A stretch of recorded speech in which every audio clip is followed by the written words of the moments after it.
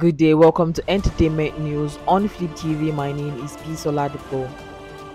American model and rapper Amber Rose has publicly accused renowned singer Beyonce of allegedly copying her speech after Beyonce recently endorsed Kamala Harris at a rally in Houston.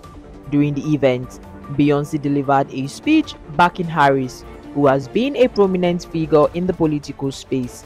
In a reaction, Rose, who had previously endorsed Republican candidate Donald Trump at the party national convention in July, claimed that Beyonce's remarks closely resemble her own words.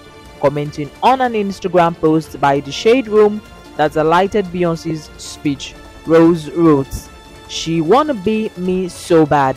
Literally took my whole speech insinuating that Beyonce may be emulating her.